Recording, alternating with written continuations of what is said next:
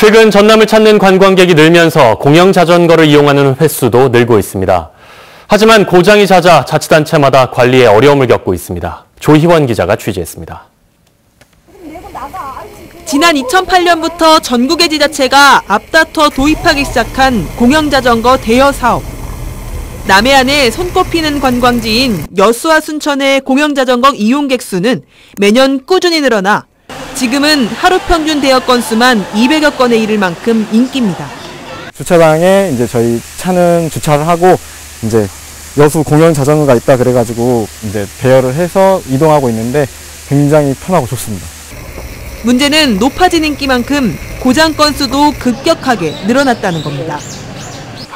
시민들이 자주 찾는 무인 대여소에는 체인이나 안장 등 부품이 고장난 자전거가 10대 중 두세 대 꼴에 이릅니다. 공영자전거 수리센터는 밀려드는 고장난 자전거 때문에 일손이 부족할 지경입니다.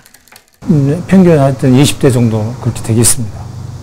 자전거 빌리고 연습 한다는데 뭐라고 말씀을 못 드리고 조심해서 타십시오. 그렇게 말씀하고 있습니다.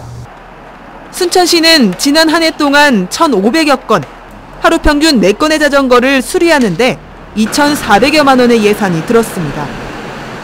오는 9월 말 개정된 국토교통법에 따라 안전모 착용이 의무가 되면 안전모 구매와 유지 관리에 필요한 예산이 더 들어가야 할 형편입니다. 여기에 위생과 관련 규정 미흡 등의 문제 때문에 벌써부터 실효성을 의심하는 목소리까지 나옵니다. 시민과 관광객들이 이게 불특정 다수인들이 타고 다니면서 안전모를 잘 사용 안 할 것이라고 생각됩니다.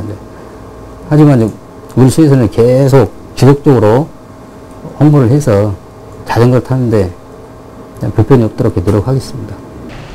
매년 적지 않은 예산이 들어가는 공영자전거 대여 사업. 아까운 세금이 쓸데없이 낭비되지 않도록 자전거 이용자와 자치단체 모두의 노력이 필요해 보입니다. MBC 뉴스 조희원입니다.